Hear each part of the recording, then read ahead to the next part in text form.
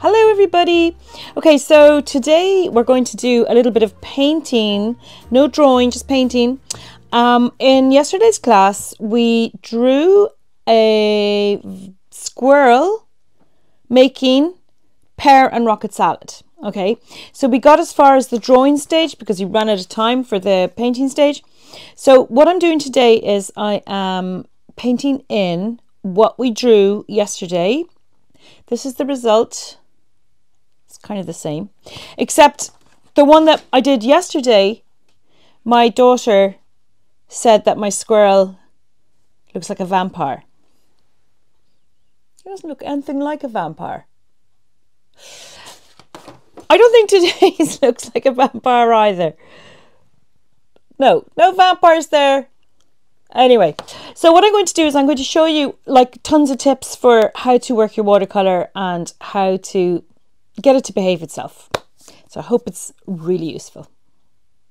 In yesterday's class, we recreated this drawing and we didn't get time to paint it. So what I'm going to do is paint it because I have to paint it anyway.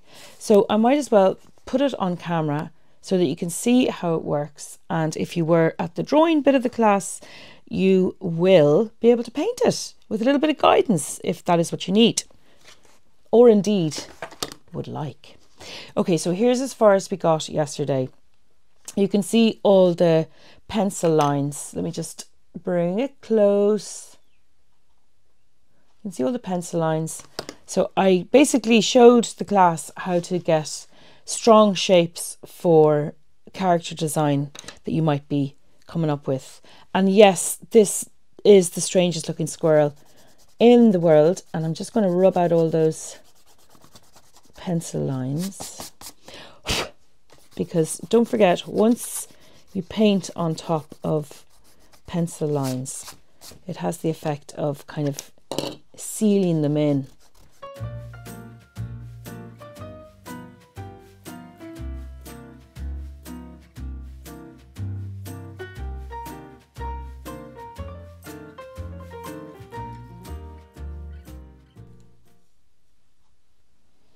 I'm using my um, my squirrel hairbrush here, but I am looking for another one with a more synthetic point. I can't find one, so it'll have to do. Okay, colours. Burnt sienna.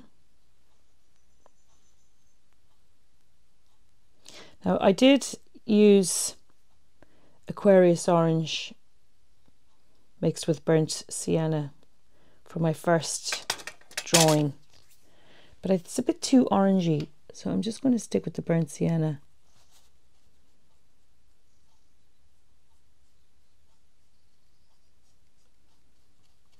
What I'm going to do is put strong colour on the outer parts of the squirrel with a concentrated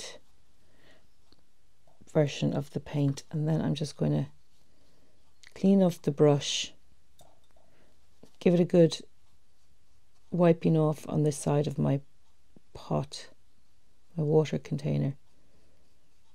And I'm just going to bring that out to the edge of the squirrel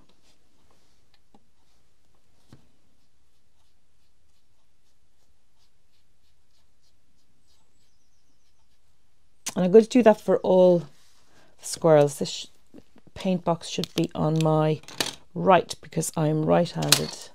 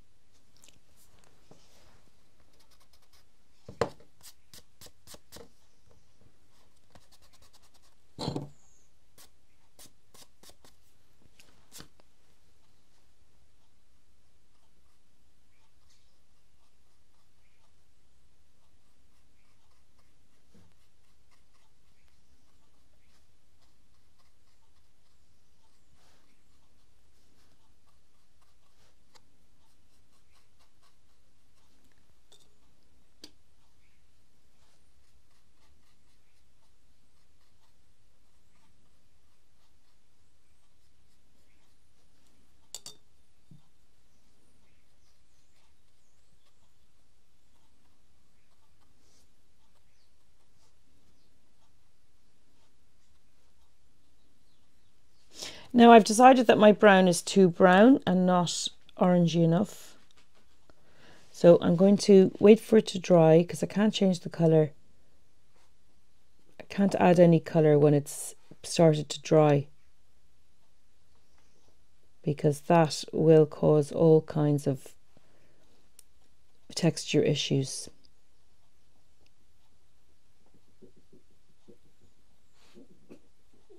And Ruben making his crazy noises under the table. He's a very vocal person.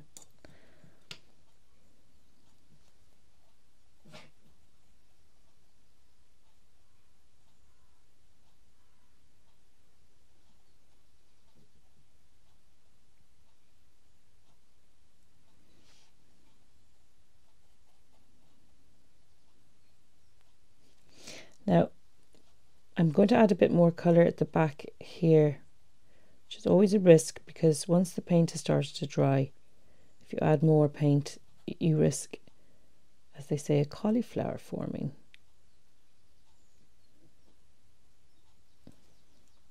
It's better to get it right first time.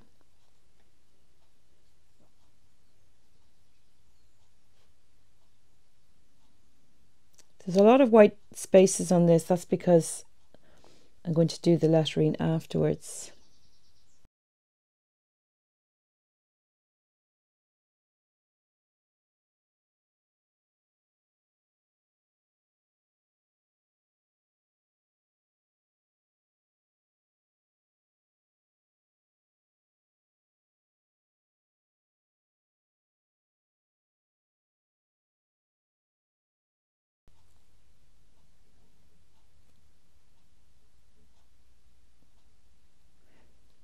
To take that line right up to that little squirrel down there and then I'm going to use a white gel pen I think to mark the transition between one squirrel and another. So I have an idea by the way for what I'm going to do with these little squirrel faces. These little vampire squirrel faces.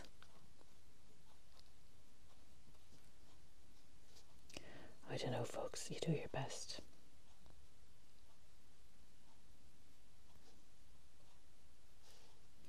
So I'm trying to keep my paint even in concentration so that everything looks the right shade of brown, the right depth of brown.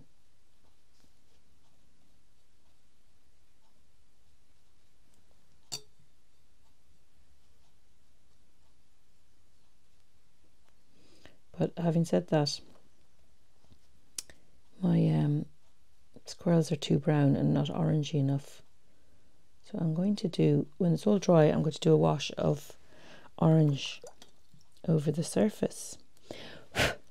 okay, what's next? Gosh, I can see loads of bits that I haven't rubbed out.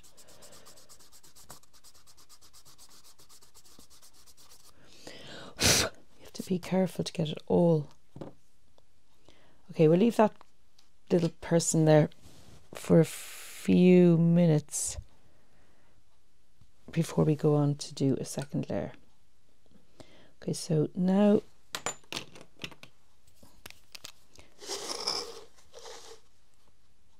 I can see a couple of bits that weren't quite finished.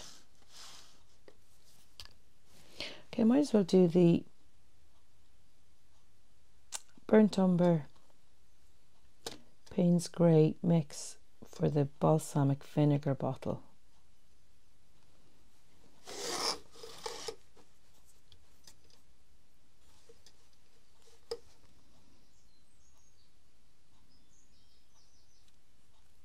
You can hear the early spring birds chirping away outside. I used to feed the birds with a lovely bird planter. It was lovely watching little birds.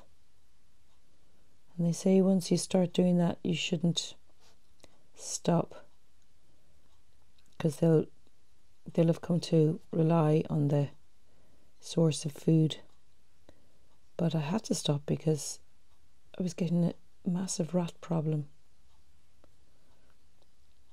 And that's no good. So I've used a very concentrated uh, mix of Payne's Grey and Burnt Umber for the balsamic vinegar bottle and you can see there's a lot of highlights left unpainted to make the glass look a bit shiny.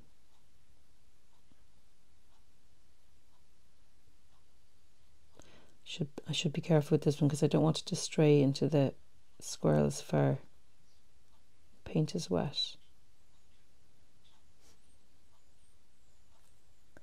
I can hear swans flying overhead down the river. I can hear the beat of their wings.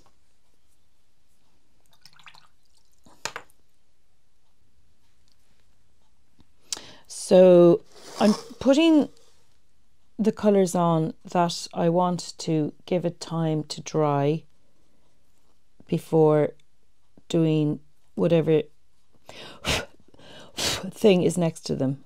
So, for example, now this little pot is kind of an off-white ceramic and in its darkest sections it kind of looks a bit Payne's greyish.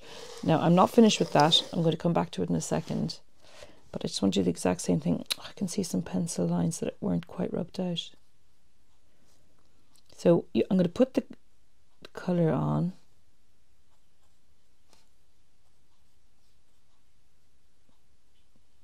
And then I'm going to dry off my brush.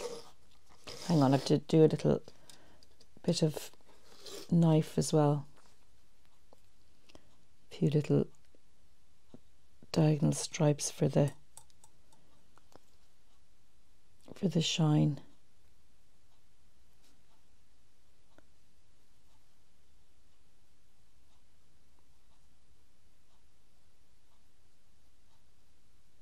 There we go. Okay, so back around here. The reason I'm turning it around is so that I don't end up putting my paw into wet paint.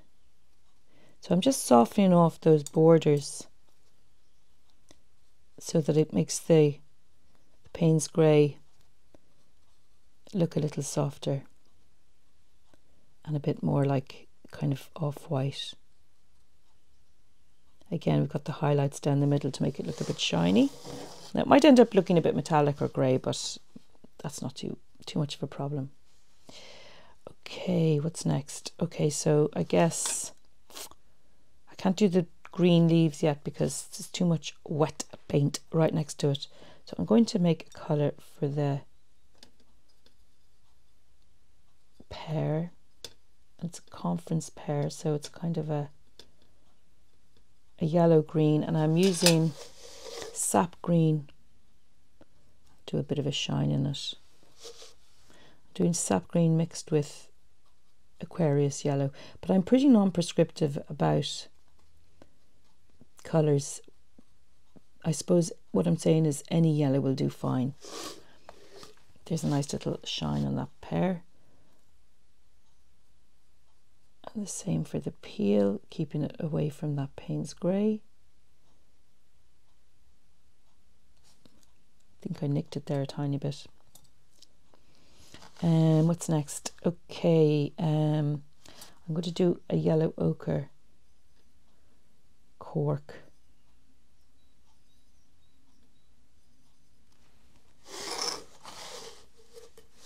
Sorry, I brought this swinging around. A yellow ochre mixed with a bit of burnt sienna, just to make the yellow ochre a little bit less yellow.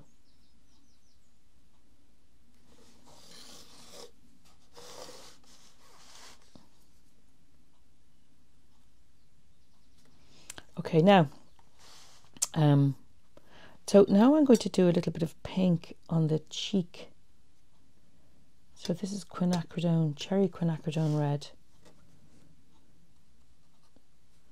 I have a little bit of a pink on the fingers. and on the little paws. Will I put on the nose as well? I don't know yet. I, I, I don't have to hurry about that. I can I can come back to that and it won't have any effect on anything else.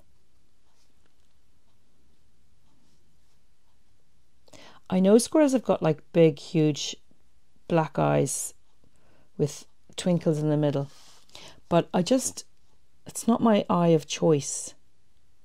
So I prefer to do it with um, just a little dot. It's it's just that's the way it works for me. I it's just I don't know what can I say. It's uh, the way I like to draw draw eyes.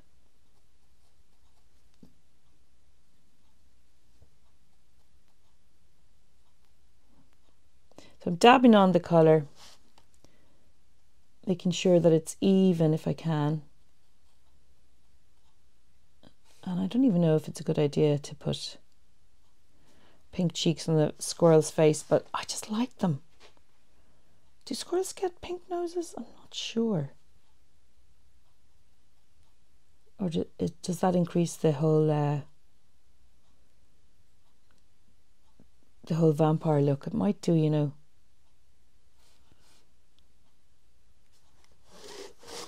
So I'm putting on the noses and I'll come back to them and soften off the edge so they don't look like blob like, although I kind of like the blob look. It's kind of cute, isn't it? Okay, what's next?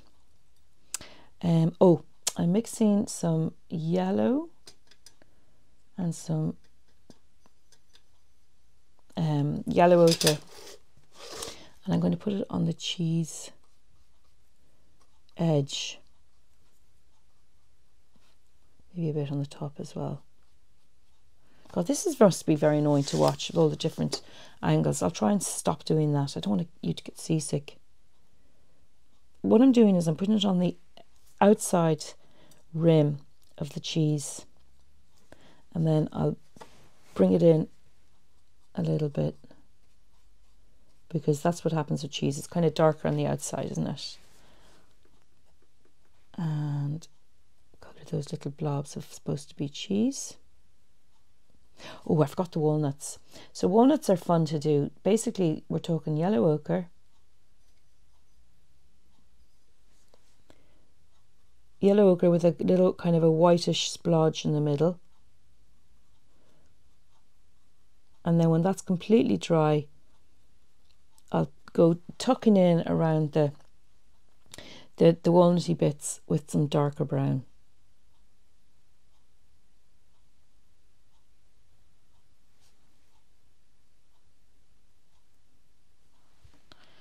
Okay, so this is supposed to be a um, wood turned bowl. So like that, I am going to start off with a yellow ochre base.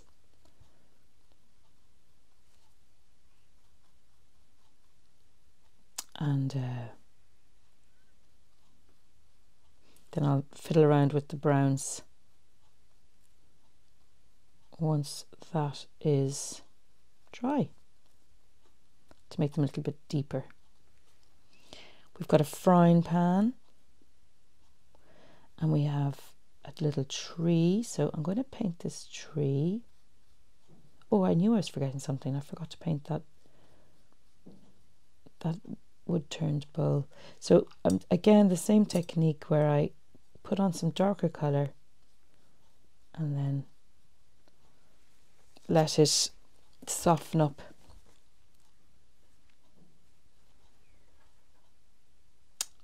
Oh, Jesus, what was that? Oh, God, spring. Place is full of birds doing birdie things. Okay, I'm going to do some pear skin. Sorry, didn't I say I wasn't going to flip it around? Okay, I'm going to do some pear skin next.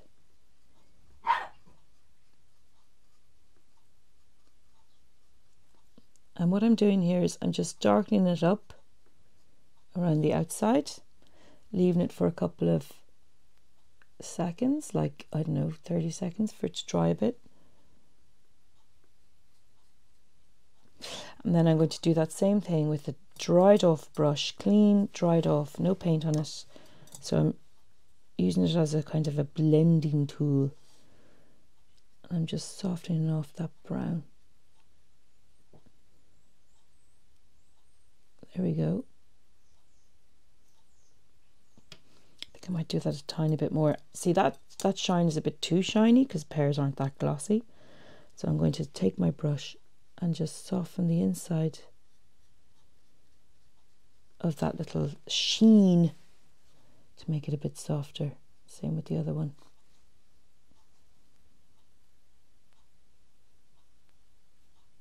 Bit of burnt umber for the stem.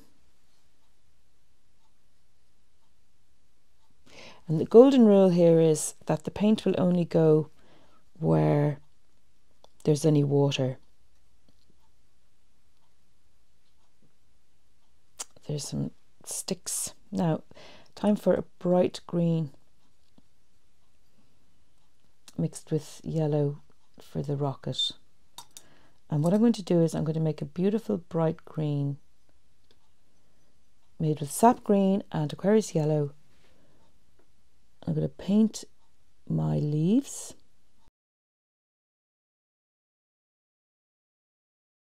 And then I'm going to wait for that to dry.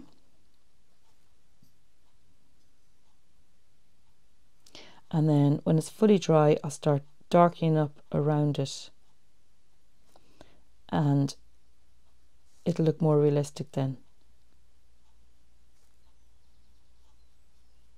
But the, I always start with the lightest colour and then go on to the darker one.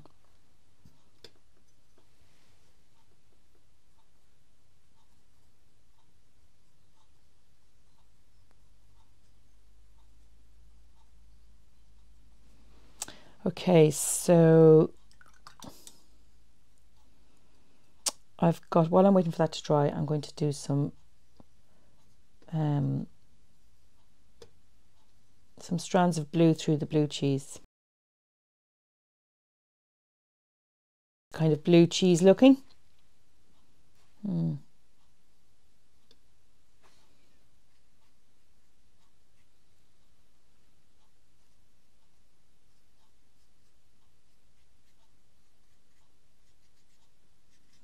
There you go. It's a little bit oranger.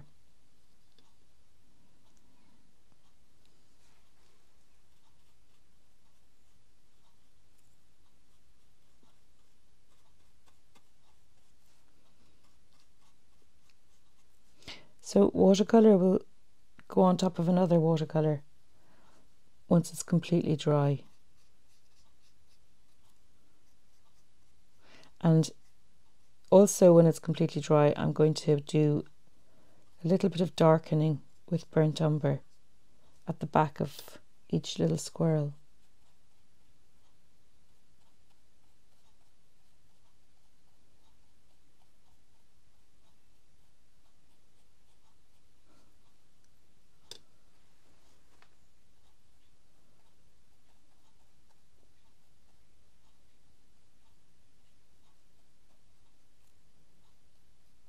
Was supposed to be pink.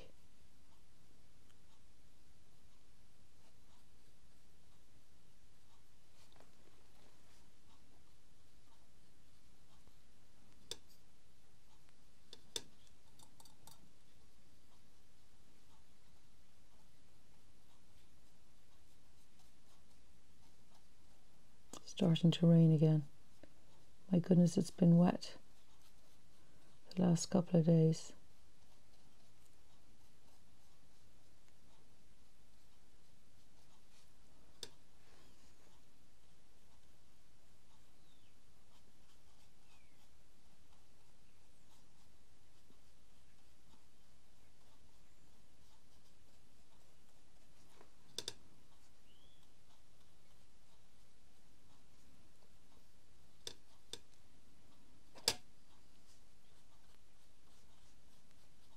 Mustn't have your paint too concentrated for this because if you do, you run the risk of lifting. A bit more rubber shavings there. You run the risk of lifting the colour underneath.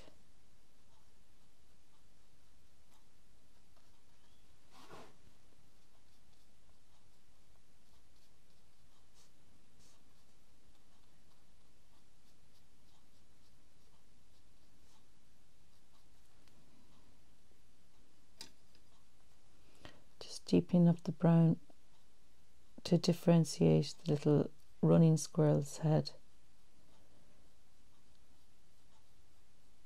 Here we go. Um, okay, what's next? Okay, time for some nice bright green for the mossy rocks. Same shade as for the for the rocket.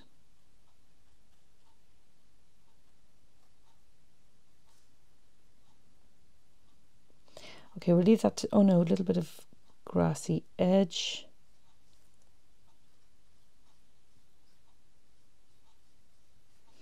And next is deepening up around that rocket. Just by darkening around the rocket leaves, you actually make it look like there's lots of it.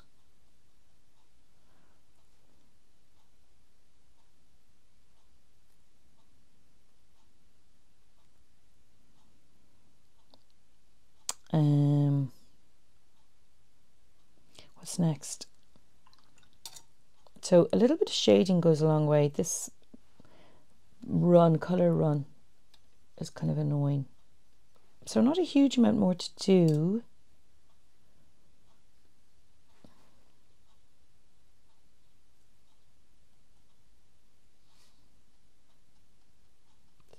Re-putting on that pink cheek because it's quite nice sinking into the orangey wash that I did.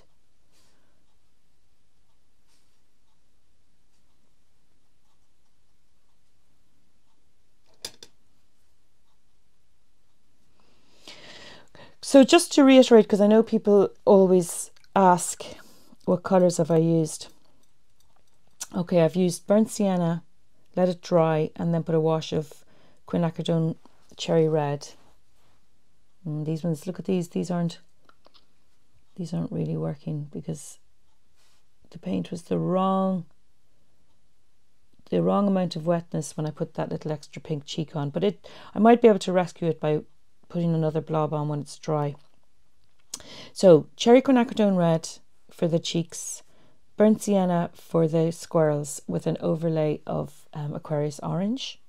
And I will be adding little bits of um, burnt umber to darken up the squirrel at the back. Then I've got very dilute Payne's Grey for the, the olive oil container and Payne's Grey and burnt umber for the um, balsamic vinegar bottle. I've got sap green and Aquarius yellow for the leaves. And I'm going to do some rocks now. And what else have we got? So the blue cheese is a very, very dilute mix of yellow and burnt umber. And then when that's a bit drier, I've got some phthalo blue. I forgot to mention that at the time. Um, what else have we got?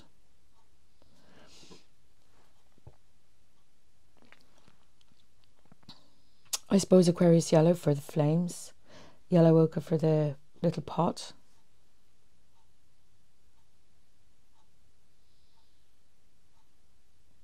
But I would say all this is kind of like the first the first sort of stage. After this, I have to add little bits of dark here and there to make all the colours really bright and stand out.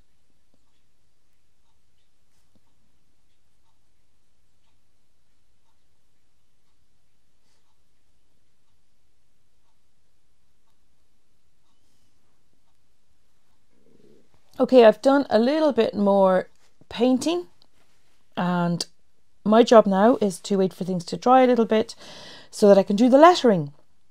So I'll get back to you then. So here is the finished page.